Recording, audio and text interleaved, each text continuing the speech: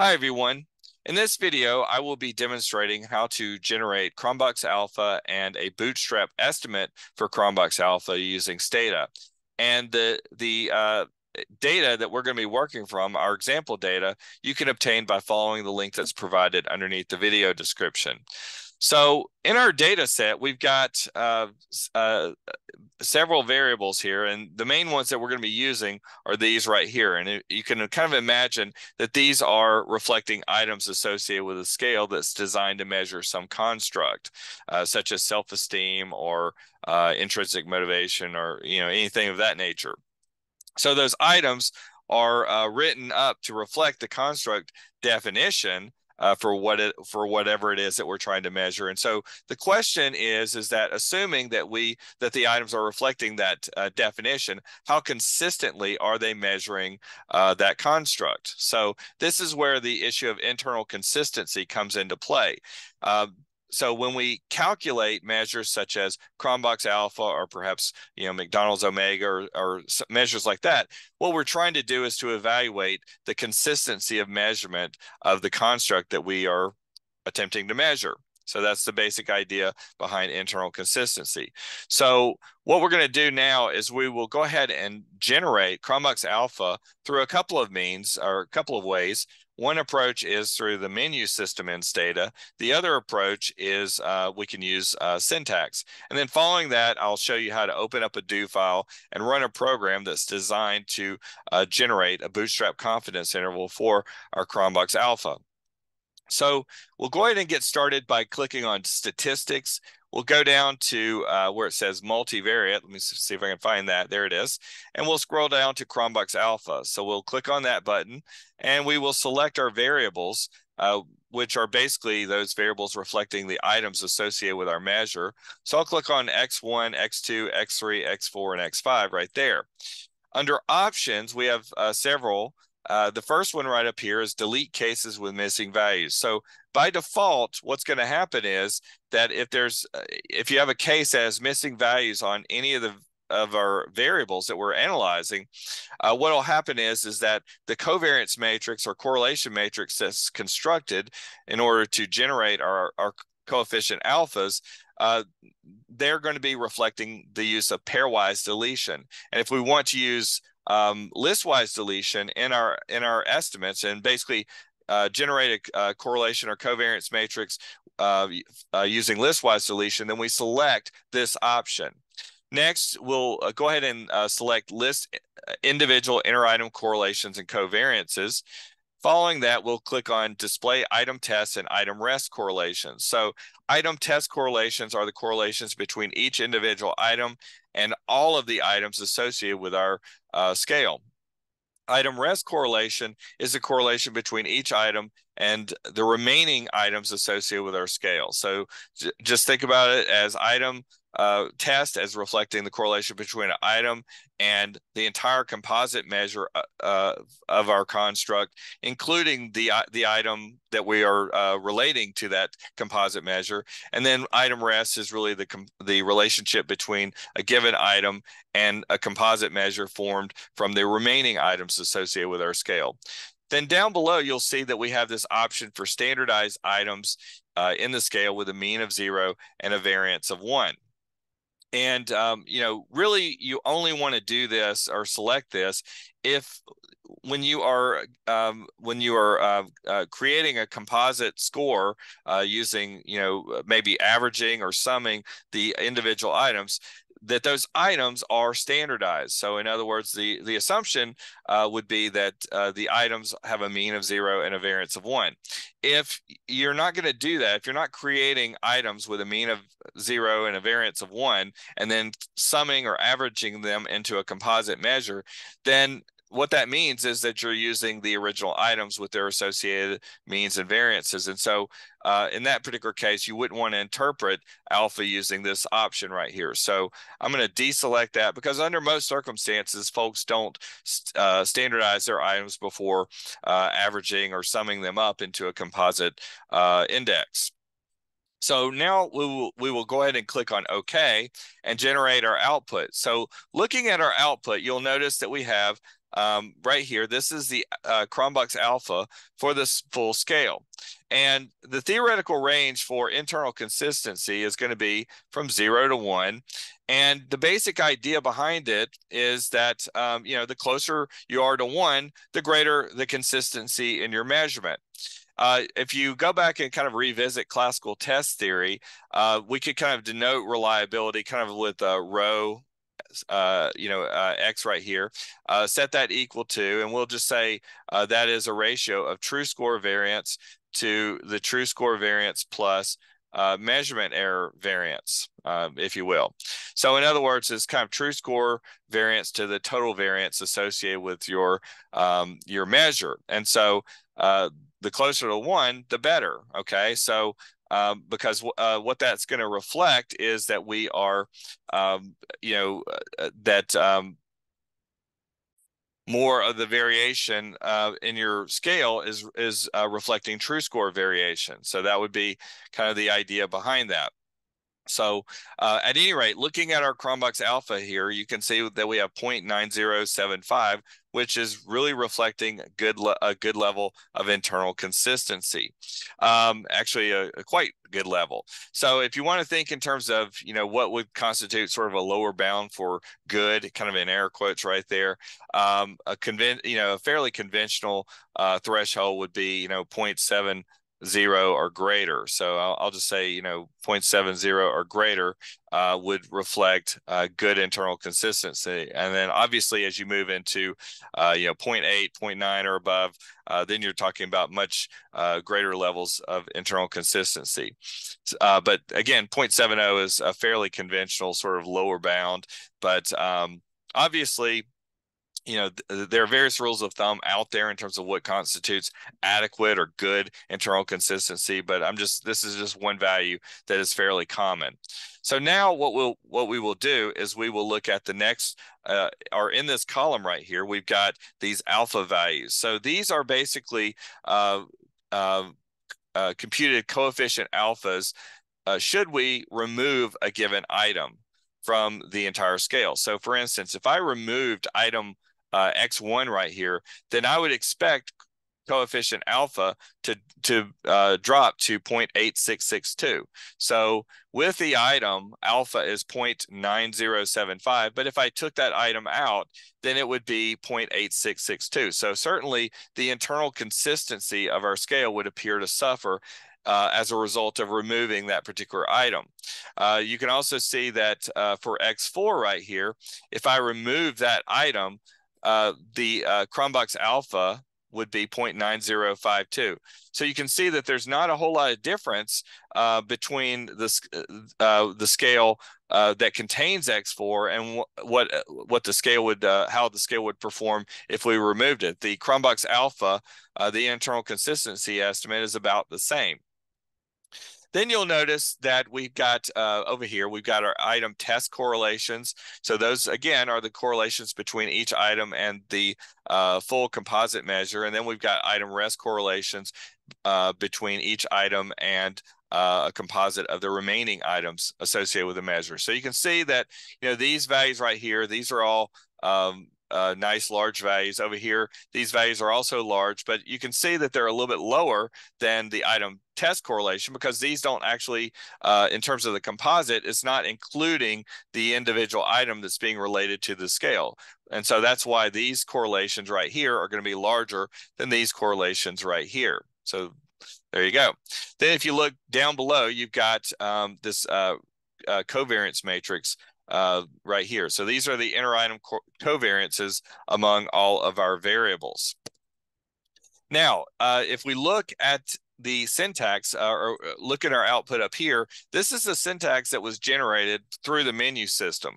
So you don't have to use a menu system. You could actually just type the syntax in directly.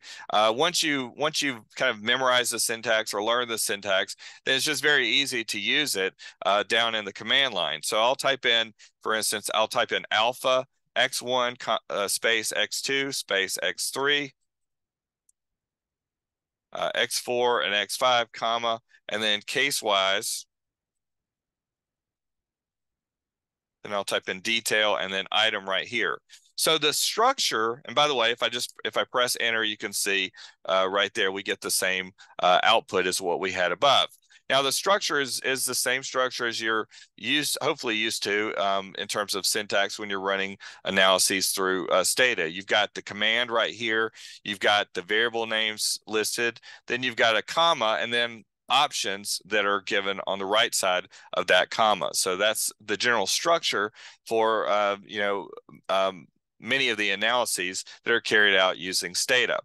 So at this point, we'll sort of transition into uh, creating a program in order to generate bootstrap uh, confidence intervals for our uh, our uh, coefficient alphas. So I'll, to do this, I'm going to click on New Do File Editor. So when I do this now, uh, this editor opens up. I'm going to kind of add a couple of spaces here and and, and increase the the size, uh, font size, so you can see it. I'm going to use the uh, zoom option right here. I'll just zoom in and uh, do this a few times right here just to kind of increase it so you can read as I'm uh, talking through. So I can also run my analysis of the uh, the previous analysis through this do file. I can just type in alpha x1, x2, x3, x4, x5, comma, case wise. Uh, then I can type in uh, the um, items and details uh, right here. I believe that was, uh, no, there's no S on the end of that. So there you go. So if I highlight this and run it, uh, you can see that uh, I ended up inadvertently uh, adding an S to the items uh, that uh, as well. So there was a little error there. So let's try this again. And so I'll highlight all this and uh, execute. And so there you go. So you can see that we can run the same analysis through the command line and through our do file. But that's not really the most interesting thing. Um, but that's just kind of a, a, little detail right there as we are learning about how to use the do file. So next up, I'll I can also generate the standardized estimate from this uh, from our do file as well. I'll just uh, type in the same things x5 comma case wise item and detail right here and I'll use the the uh, option STD right there. So that's going to get me the standardized alpha, alpha. So I'll go ahead and click on execute selection.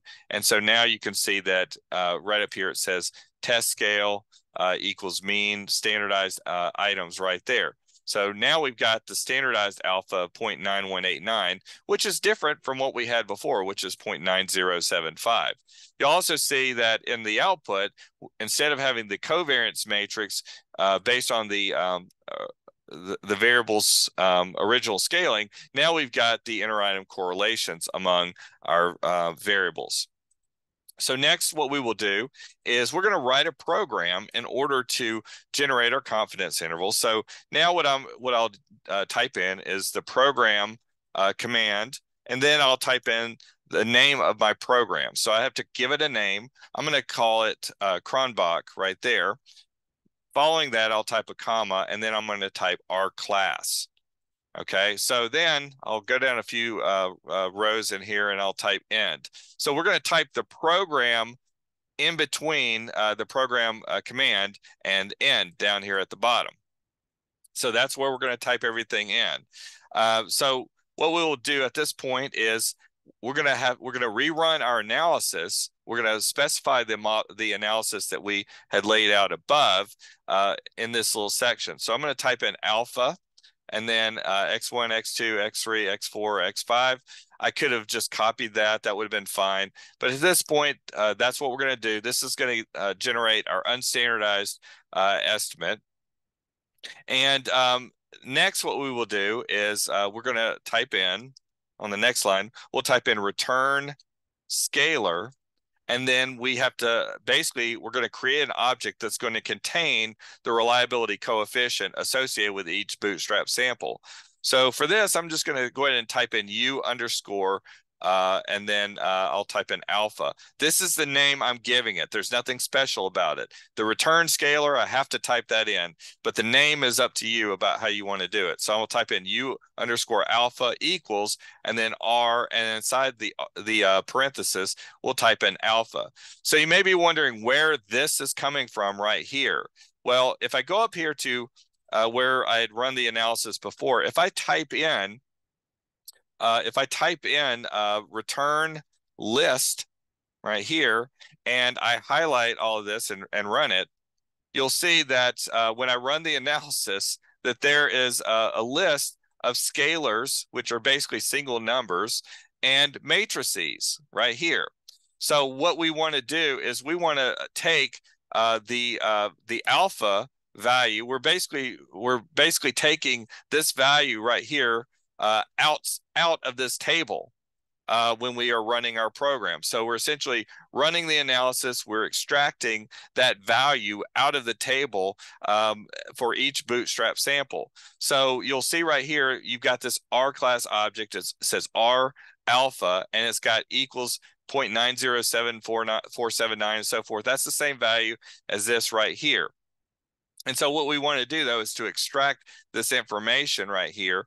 And so that's where when we um, when we uh, set this up, that's why we have return scalar and then underscore alpha right here. That's the name uh, that we're using for our uh, scalar. And then we've got uh, our alpha so that we're we're pulling this value or extracting this value uh, for use during our bootstrapping. So that's how we would do that. Then I'll type in um, if I want the uh, standardized uh, uh, confidence interval for the standardized estimate. Uh, again, I can type in alpha, x1, x2, x3, x4, and x5.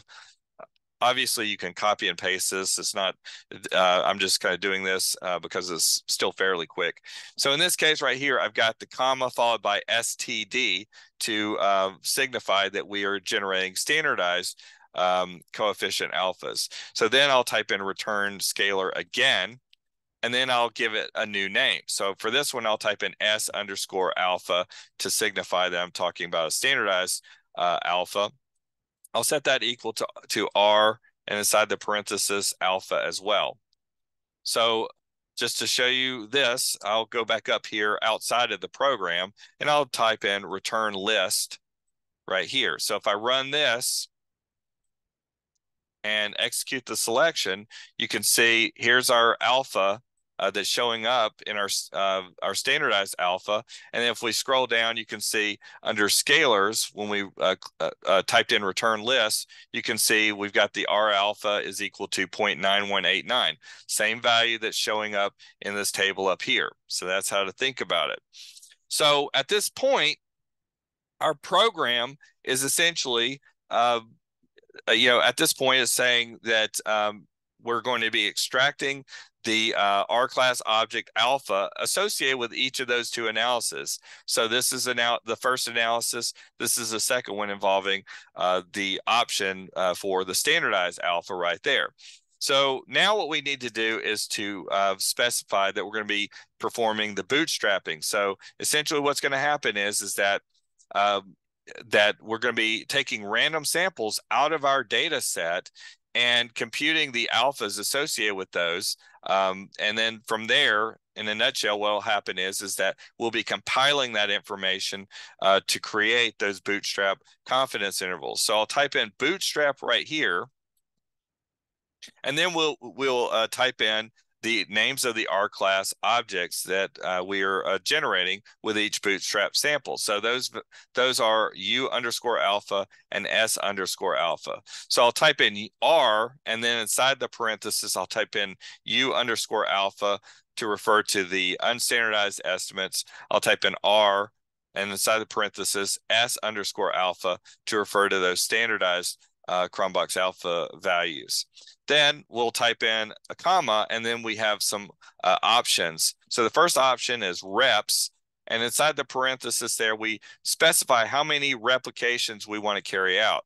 So for the purpose of this demonstration only, I'm going to type in 20, and uh, and this is just to keep things really, really simple. Um, you know what happens is is that the bootstrapping process uh, the resampling process um, is is just going to uh, carry out 20 bootstrap samples right here. But ordinarily you want a much larger number you know uh, maybe a thousand two thousand uh, five thousand maybe even more. And so that takes a little while to go through that process. And so i'm just trying to kind of keep this short for this demonstration only. So uh, this is uh, woefully insufficient for uh, most Bootstrap applications, but this is just for the purpose of this demonstration here. Next, I'm going to type in seed, and inside the parenthesis, I'm going to set a seed number. Now, the basic idea is uh, by doing this, what what I want to be able to do in the future is I want to be able to come back to um, you know to this code perhaps maybe I save this and I want to come back and maybe rerun it again and I want to get the same uh, uh, lower and upper bounds for my confidence intervals. If I don't set the seed, you know, create a seed number, then what will happen is is that the random uh, generator associated with Stata, each time that there that the analysis is rerun, I can end up with confidence intervals that differ somewhat from each other in terms of the lower and the upper bound. And that's because uh, of the random number generator associated with that. So if I want to be able to replicate the exact uh, confidence intervals in the future, then I need to set, a seed number. And so for this, I've set it at one, two, three, four, five. Then I've got a, a colon right here, and then followed with the name of the program. The, the program name that I, the, the name of the program that I gave it is Cronbach. So I'm going to type in Cronbach down here. So if I stop there, the output is going to give me uh, my my estimates for alpha, uh, my uh, unstandardized and standardized estimates. It will also give me a confidence interval, but it's a normal theory based confidence interval, and I'm not going to want to use that. Instead, I want to use um, either a percentile or bias corrected confidence interval. So to, to obtain that, I'll type in ESTAT, and then I'll follow that up with boot, comma, and then from there I'll type in BC and then space percentile. So BC is bias corrected, percentile is a percentile confidence interval. These are two uh, types of confidence intervals that can be used. I'm going to defer, I'm going to leave it to you to make the, the, the decision about which one you want to use but um, we're going to get output associated with both of these. You'll also notice that our one uh, other thing I want to highlight too, up here at the top, I'm going to also add the following code, uh, which is capture uh, program. Uh, then I'll type in the uh, uh, drop and then Cronbach right here. And this is just a, a little bit of a safeguard to make sure um, that everything runs smoothly. But the main program is this right here. So, but we're going to highlight all of this and click on the uh, execute selection button. So when I press that, uh, you'll see that uh, some there was an error somewhere in my syntax. And uh, I found it uh, actually pretty easily. Uh, I forgot to add a little R there for to denote that this is an R class object. So I had it up here, but I didn't have it here. And so that's why it didn't run. So let's try this again. Hopefully now it will all uh, work out fine. So now what I'll do is I'll go ahead and click on execute selection. And so you can see it's run. So I'll scroll up here. You'll see that we've got, it says bootstrap replications 20. So what'll happen is, is that if you have a lot larger number of bootstrap replications, it's going to, it'll kind of slowly just kind of the dots will appear across uh, lines. And so then it, it just takes a little bit longer for things to be carried out. You'll see in terms of the bootstrap results, uh, we, we've got the um, right here for the first estimand, uh, this uh, underscore BS underscore one, that's referring to my unstandardized uh, Cronbach alpha. And then we've got the uh, this one right here referring to the standardized. So those are the uh, just kind of generic names or labels associated with uh, those two estimates. So there's the observed uh, Cronbach alphas for uh, unstandardized and standardized respectively. If we scroll down, you, you can see the code for that, uh, the remaining portion. So um, yeah, there you go. So now you've got, once again, the estimates themselves, as well as 95% confidence intervals that have been created. Uh, the P's are referring to the percentile based method. Uh, the BC is referring to bias corrected methods. So you see that we've got our 95% confidence interval for the unstandardized uh, Cronbach alpha and uh, using the percentile method. This is for the uh, bias corrected method right here. Uh, then we've got, uh, you know, basically the percentile method and uh, bias corrected method right there. It turns out that we have uh, basically the same values um, for percentile bias corrected in this particular uh, demonstration uh, for those two confidence intervals. Uh, one other thing I want to mention is is that um, you know if you happen to have missing data associated with uh, in in your data set and you want to um, you know kind of use that listwise uh, deletion approach during the bootstrapping, what you're going to need to do is to uh, exclude those cases uh, on your own and then to rerun the bootstrap. So that's what their this little warning message is right up here. So that's just uh, something to kind of keep in mind um, as you're as you're running your analyses. So that's going to pretty much wrap up this video presentation, and I appreciate you watching.